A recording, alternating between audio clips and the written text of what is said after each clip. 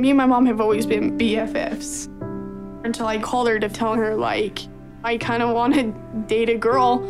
And that's just, she lost it. And it was a shock.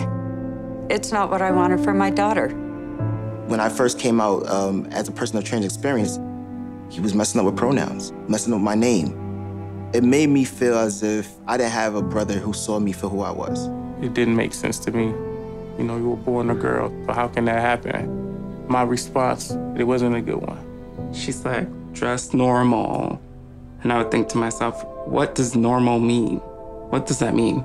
I was afraid of what other people may say about how he dresses or how he acts.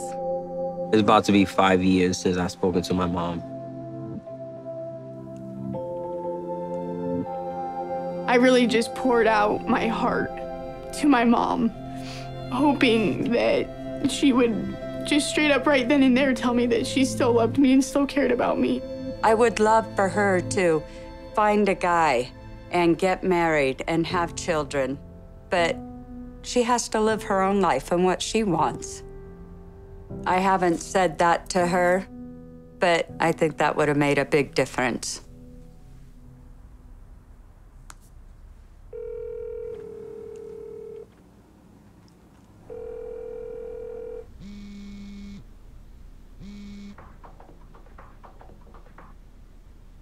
Hello? Hi, it's Mom. Like, we ain't talked on the phone in a long time. True. I want to um, talk about some things that we haven't ever talked about. You know, when you first called me, Yeah? I should have told you how much I loved you then.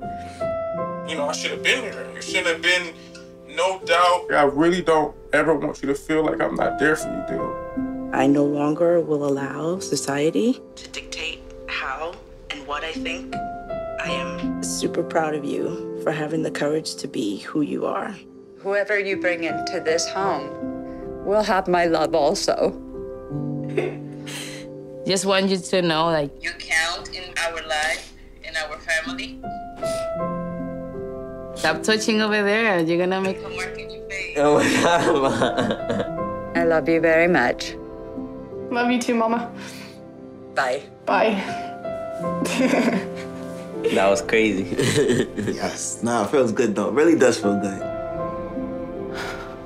She's wanted to call and tell me she loved me and that she's proud to have me as her daughter. I never thought that phone call would ever come.